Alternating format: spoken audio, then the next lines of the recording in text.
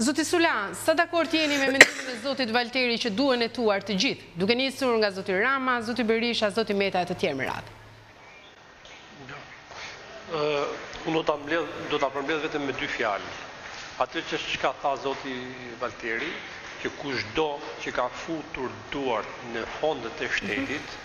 që tashmë dimë që gjatë jo vetëm këto 10 vitëve fundit, por përgjatë këtyre 32 vitëve, Politikanët në Shqipëri apo personat të cilët kanë patur pushtet qoftë në bashki, qoftë ministra, drejtorë të përgjithshëm të institucioneve shtetërore, dihet që ka pasur korrupsion dhe ka korrupsion, pa diskutim. Dhe nëse nuk do ta thonim gjë të tillë do të ishte pastaj një naivitet. Por jam dakord që ato persona të cilët kanë përgjegjësi të drejtpërdrejtë, të cilët kanë abuzuar me fonde publike, patjetër duhet të hetohen. A ka tentativa për t'i mbrojtur persona të caktuar? Padiskutim,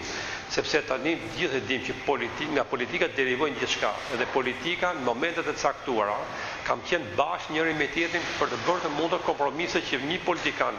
X apo Y të mos hetohet dhe mos kalojë përpara drejtësisë dhe makinacionet ne këtë i dimë Dhe pa diskutim. Dhe unë, unë, unë do të inkurajoja, thashë, jo vetëm si ish-prokuror, jo vetëm si ish-koleg i atyre prokurorëve, sepse ato punojnë sot në një kushte, do të thosha, jashtëzakonisht të presionit të fortë politik, mediatik, që të jemi të qartë. Pse? Tani ne kemi parë me zë e me figurë që persona, politikanë të lartë, qoftë kryeministri, qoftë të, të, të, të, liderë të opozitës, qoftë edhe politikanë të tjerë, Në momente të caktuara që kanë ndier një rrezik nga SPAK-u i është bërë presion drejtpërdrejt dhe prokurorëve të SPAK-ut apo gjyqtarëve të Gjykatës së Posaçme.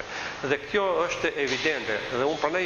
unë për vete personalisht aq sa kam mundësinë time si politikan do të jap mbështetjen e plotë bashkë me kolegë të tjerë të opozitës apo edhe ato politikanë të cilët në vërtet kanë një integritet moral dhe profesional për t'i dhënë mbështetje të fortë këtij organi të cilit me të vërtetë është në hapat e para, me të vërtetë ka patur rezultate, mund të kishte patur më shumë rezultate, por nuk varet gjithçka nga ato.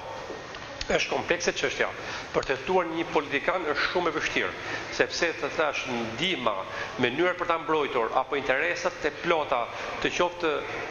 Personave të cilët janë në ekzekutiv sot apo të politikës në tërësi janë shumë të forta për mos bërë të mundur që ai të vijë përpara drejtësisë duke rrezikuar dhe veten e tyre, sepse hetimi është natyrë komplekse, hetimi ose korrupsioni të një çështje konkrete e cila sidomos që është rasti i inceneratorëve është kompleks dhe në është e pamundur që ky që korrupsioni afera e inceneratorëve të bëhet nga një person i vetëm në rastin konkret që është zoti Koka apo ish sekretari i përgjithshëm zoti Bllako në burg. por ka patur natyrë komplekse dhe ka patur shumë persona të përfshirë apo institucione të përfshirë, por ka është çështje shumë e vështirë për t'u hetuar dhe pa diskutim përsëri në unë do të rezervoja momentin që kur përfundonte në tërësi i gjithë ky hetim atëherë mund të kishim dhe konkluzionet nëse Ky hetim ka qenë hetim i plotë, hetim i drejtë, hetim i ndershëm, apo ka patur dhe momente të cilat persona të caktuar janë shmangur nga hetimi apo kanë përfituar dhe nuk kanë qenë nuk kanë qenë persona të cilët duhet të viheshin përpara drejtësisë. Dhe unë mendoj dhe gjykoj që në ditët në vazhdim, thashë dhe në muajt në vazhdim, edhe të jeni të sigurt që e kam thënë në shumë intervista që viti dy mijë e njëzet e dy, Viti dy mijë e njëzet e tre, maksimum dhe viti dy mijë e njëzet e katër do jenë vite të cilat do të bëjnë diferencën e madhe përgjatë këtyre tridhjetë e dy viteve që persona konkretë të politikës do të vijnë përpara drejtësisë, do të marri një herë e mirë fund që ta shikojnë shtetin politikanët si thesarin e tyre, si mjetin për t'u pasuruar veten e tyre, familjarët e tyre dhe persona të tjerë. Është për t'ardhur keq, unë nuk do të merrem me emra konkretë. Po përgjatë tridhjetë e dy viteve kjo kënetë politike korrupsioni do të marrë njëherë e përfundimisht fund, sepse jemi i vetmi vend në rajon të cilët nuk kemi nuk kemi përpara drejtësisë ose nuk ka kaluar ë të gjykohen dhe të marrin dënime penale politikanë të cilët kanë abuzuar ndër vite dhe vazhdojnë të abuzojnë dhe sot Kushdo qoftë sot në kjo qeverisje, të cilët ne e dimë, që ka dhe ose përpara vitit dy mijë e trembëdhjetë ish ministra apo ish drejtorë të përgjithshëm të cilët nuk janë vënë përpara drejtësisë. Dhe unë e kam thënë këtë që kjo është një gabim jashtëzakonisht i madh dhe vitin dy mijë e trembëdhjetë kur erdhi Partia Socialiste në pushtet që nuk bëri dosje as për ish ministra, nuk bëri dosje as për ish drejtorë të institucioneve të larta shtetërore të cilët ka patur korrupsion ose kanë bërë shkelje të ligjit, apo dhe sot të cilët ato kanë gjithë pushtetin sot kjo Kjo qeveri e cila nuk bën të mundur që t'i vëjë përpara drejtësisë ato persona t'i kallëzojë, sepse nuk mund të kallëzojë veten e vet, ndërsa është për t'u mbarajuar gazetarët, siç e tha zoti Beqiri, investigativë apo institucione të tjera të cilat denoncojnë me prova dhe me fakte dhe unë them që pavarësisht që nuk janë arritur rezultate të mira, nuk do të thosha të shkëlqyera, po të mira, kam bindje që rruga e cila është nisur është një rrugë e pakësyshme dhe kjo nuk është në sajë të meritës së kësaj politike, as të ekzekutivit të sotëm, po as dhe politikës në tërësi. Kjo është thjesht meritë e jashtëzakonshme e partnerit tonë strategjik, Shteteve të Bashkuara të Amerikës, në mënyrë absolute të cilët kanë bërë më të pamundurën me presionin, me trysninë e tyre pozitive për të bërë të mundur që të bëhet ajo reformë në drejtësi. Unë kam qenë në sistemin e drejtësisë dhe po ju them deri në vitin dy mijë e pesëmbëdhjetë, asistimi i gjykatave dhe i gjithë organeve të drejtësisë apo prokurorisë ka qenë nga Euralius dhe nga Bashkimi Europian, të cilët ka dështuar në tërësi për të ngritur nivelin e drejtësisë të pavarur, sepse të gjithë e dimë që ish prokurorët e përgjithshëm, qysh nga vitet nëntëdhjetë e deri deri tani në fund, kanë patur presione të jashtëzakonshme gjithmonë për të përmbushur detyrën e tyre, sepse ndikohej shumë nga politika, nga ekzekutivi, madje dhe u ushtrohej presion dhe shtypeshin.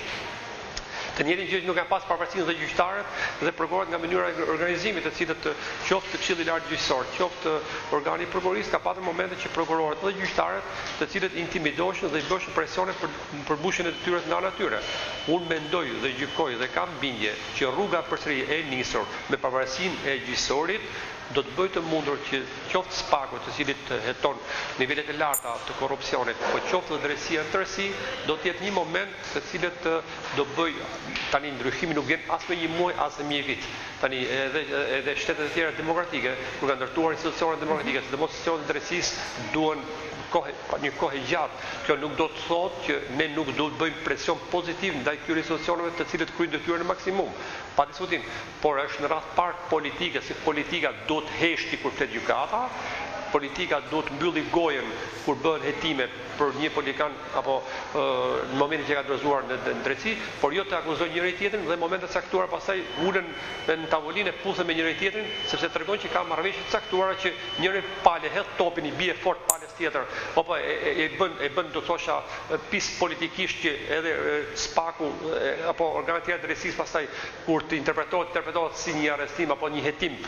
politik nga një politikan të caktuar dhe kjo është gjithë problematika. Unë rezervohem gjithmonë edhe pavarësisht që kam në politikë që nga viti dy mijë e pesë dhe tani, asnjëherë nuk kam dalur dhe nuk kam përdorur ndaj politikanëve qoftë të majtë apo të djathtë apo kushdo të gjithë politikanëve të vë gishtin drejtpërdrejt si i korruptuar. Një gjë të tillë e bën vetëm organi i prokurorisë dhe gjykata, një vendim gjykate. Por ama akuza politike pa fre unë nuk do të isha dakord absolutisht. Kjo gjë ka ndodhur qoftë nga kryeministri i sotëm zoti Rama i cili intimidon apo kundërshtarët e tij politikë, i bën akuza, qoftë dhe nga opozita, të cilët bëjnë akuza të drejtpërdrejta ndaj politikanëve të kësaj mazhorance. Unë mendoj dhe gjykoj që duhet të jemi shumë serioz, pa diskutim,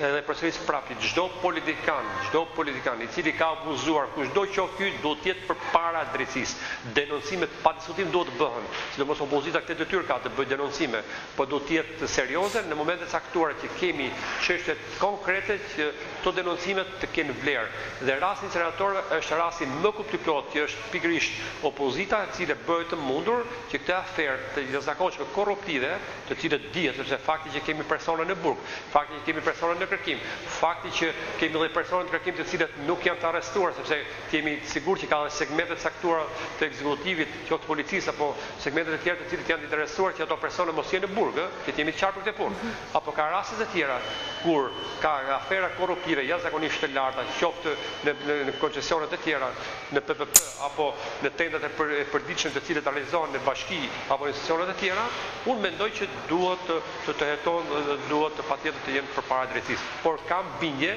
që rruga është e vështirë, pa diskutim, rruga të cilët kjo politikë ia ka bërë të vështirë këtij populli, sepse tani jemi dëshmi jemi dëshmitarë dhe jemi të gjithë, Ktu që e dimë që përgjatë këtyre tridhjetë e dy viteve, sidomos këto dhjetë vitet e fundit, është një një tmerr sepse mjafton të përmendësh vetëm një shifër, mbi shtatëqind e pesëdhjetë mijë shqiptarë largohen nga Shqipëria. Për çfarë largohen? Largohen sepse nuk kanë besim tek politika, kanë nuk kanë besim te kjo qeverisje, nuk kanë besim te politikat të cilat korrupsioni i lartë i cili ndodh rëndom në këtë vend ka krijuar këtë lloj dhe gjendje dhe këtë lloj problematike. Por